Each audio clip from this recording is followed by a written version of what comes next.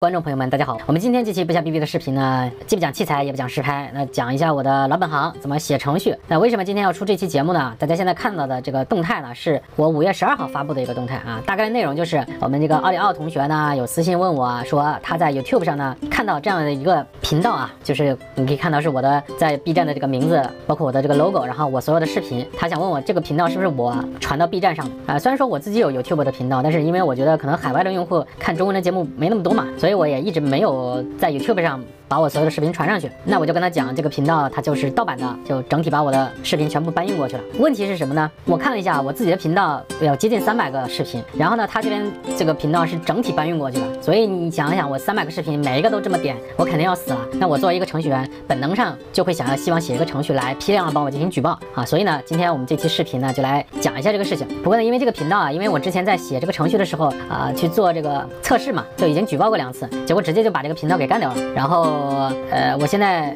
在 YouTube 上面也搜索不了这个频道，你可以看到这边已经完全搜索不了了，所以呢就没有办法。那我们。就暂时以顾俊老师的这个频道啊，假装是我的频道，然后我们可以来讲一下整个的这个举报的流程啊。反正顾俊老师不会因为我举报他的频道而，对不对？好，那我们就来看一下啊，这个是怎么搞。首先呢，我们在举报之前呢，肯定是要找到被举报的视频的网址和想要举报的视频的网址。那么就是，比如我们顾俊老师在 YouTube 上频道的这些视频的这个网址，我们要拿到。同时，在这个版权的网址、所有者的网址也要都拿到。那么我们首先第一个程序呢，就是来做这个事情的。那其实大。大家如果学过，比如说 Web 开发的话，应该都知道，我们现在所看到的这个网页啊，其实都是一些非常简单的代码组成的。如果你在这边点击右键，这边有个检查，那你就可以弹出来一个相当于开发者的一个界面吧。这个界面大家可以看到啊，所有这个界面上的一些代码都在这边。你甚至可以直接修改你界面上的所有的信息，比如说啊改成顾俊玉。好，你可以看到这个网页上这个 title 就变化了啊，就是因为它这个东西都是公开的源码的啊，你随便是可以改的。那么我们怎么去？来，比如说获得这个页面上所有的视频的链接和地址呢，其实就是通过一个叫 query CSS query 的东西就可以找到。那我们怎么找呢？点选这个搜索元素的功能，它就可以选择当前的这个元素。大家可以看到它的结构是比较复杂的啊，呃，但是我们大概可以归纳出来。当我鼠标放在这个元素上的时候，这个浏览器就会有一个外框，就会告诉你这个元素大概是什么样的区域。那我们就知道啊，在这个元素的区域下面，你可以看到这个东西是一个 list li，然后下面它有个 class 是。fake 弹幕杠 item，所以呢，我们就可以通过这些信息来查找到我们需要的东西。写起来非常的简单，就是在这边有一个 dollar 符号，就是美元的 dollar 符号括号，然后我们可以首先查找到所有的 class 啊，就是 fake 弹幕，我们复制过来，然后 class 的话要在前面加一个点。我们现在查的话，你可以看到查可以查询到非常多的东西，但是呢，我们要做一个限定嘛。啊，应该是用两个 dollar 查出来一个数组，大家可以看到这边一个数组的话就是有六十个，那这个页这页的视频应该就是有六十个吧。好，那我们现在找到的是外面的这个，但是我们要找里面的有用的东西啊，一个就是我们当前这个视频的链接，你可以看到是在这个项目下面有一个 A，它就是一个链接啊，链接它的 href 的话就是这个视频的 URL 啊，就是链接的地址，然后它的属性 title 就是这个视频的标题吧。所以呢，我们在找的时候，我们在后方加个 A，它可以看到这边 class 是个 title。OK，我们现在是找到这个 title 了，然后我们可以把它转换，A return，一个是 title 对吧？title 的话我们怎么拿？就是 A 的 title 试一下啊，然后 link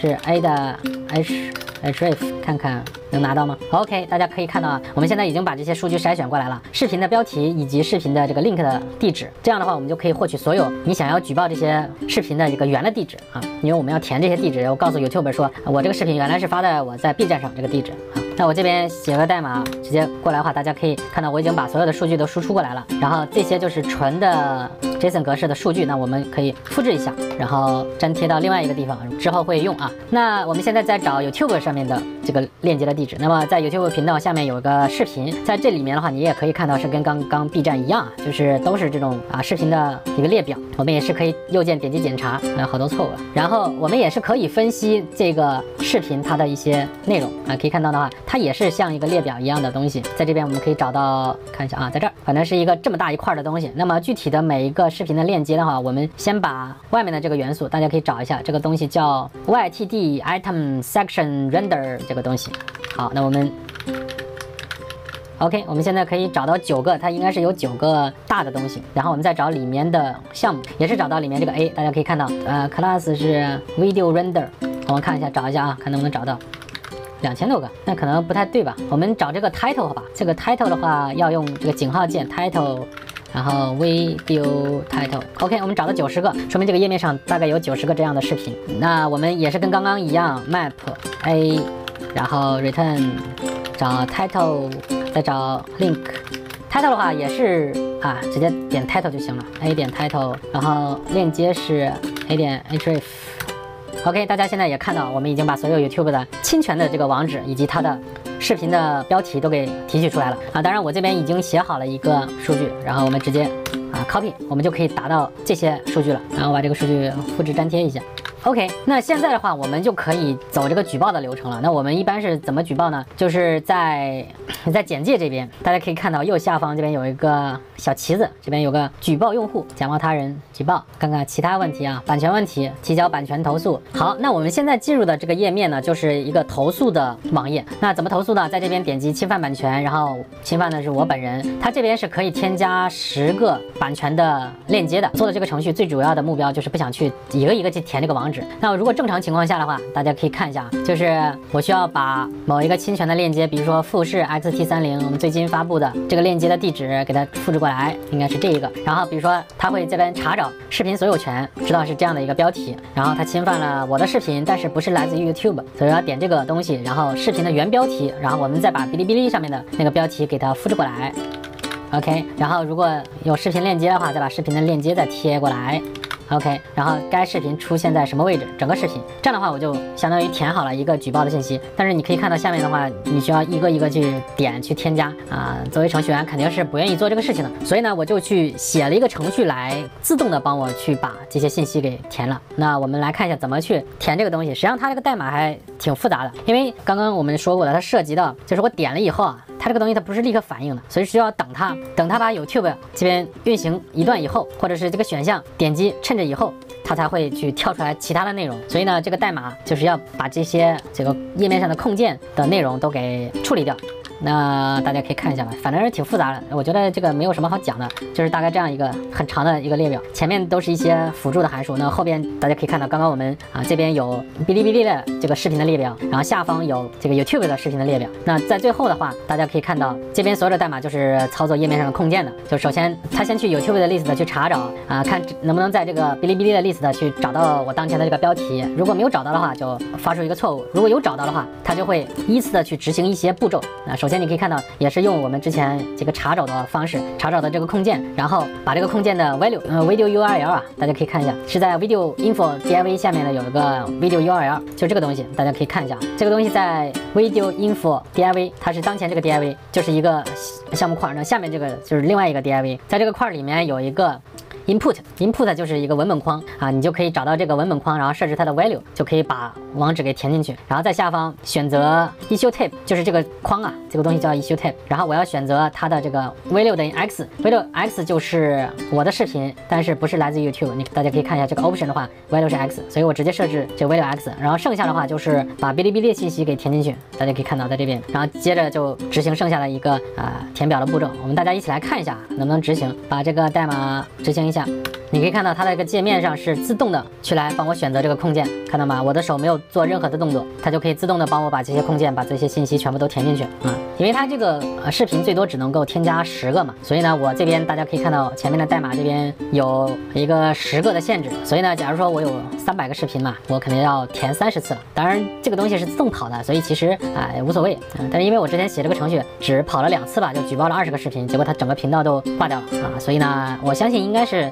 你大概只投诉二十个视频，差不多这个频道就可能被 YouTube 认定为它是一个版权的侵犯者，就会直接把这个频道整个给干掉。那你可以看到下方这边，您已达到每个投诉的视频数量上限。OK，但是呢，大家可以看到这边有 Not Found 啊，就是 Not Found，这说明啊，他没有找到 B 站的那个地址，是为什么呢？就是我们顾俊老师他的这个投的 B 站的这个视频的标题和 YouTube 的视频的标题不太一样啊，所以呢，哎，我们就可以修正一下这个标题信息，看看到底是。咋回事啊？那我们看一下，这个是 B 站的视频标题，再找一下 YouTube 上面的视频标题，大家看一下有什么区别啊？因为有时候它有一些盗版的频道啊，它可能会更改一些这个视频的标题，所以你这样去匹配的时候就匹配不过来。那看起来的话，应该是前面加了这样的一个口号，那我们这个代码就要稍微改一下，就是要把前面的一个方口号的内容给加进去啊。大家重新刷新一下，然后如果你还想执行刚刚的代码的话，只要按上就可以了，它就会把刚刚所有的代码全都加载过来。然后我们在这边只需要把这个匹配标题的内容改一下，就说因为是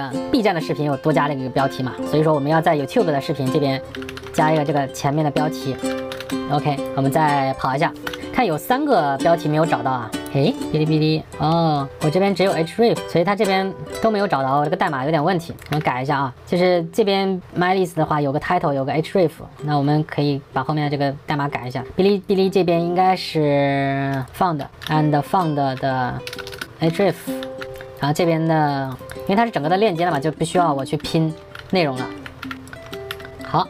我们再重新执行一下，会应该可以吧？哎，写程序嘛，就是这种，就经常会一些什么小问题。改来改去的程序员天天的工作就是做这个事情嘛。好，现在大家看到这个 B 站的视频已经被自动的填进去了。当然也有些视频可能找不到，有可能是因为啊这个标题不匹配，没有关系，你找到这个视频链接没有的，直接去找一下填一下就可以了。OK，那下方的话大家可以看到，就是填一下你的一些信息，然后再到下方点击这些东西，然后写上你的名称，然后提交投诉就可以了。之后呢，你会在你的邮箱里收到这样的一个邮件，举报的这个地址，他会把刚刚你所有填进去的东西都给。发给你，然后如果举报成功的话，大家可以看到，非常感谢您通知我们相关内容已经删除，啊，就 OK 了，这个就整个这个举报的过程就完成了。所以呢，大概就是这样一个流程吧。因为我之前关于这个举报的问题啊，我咨询过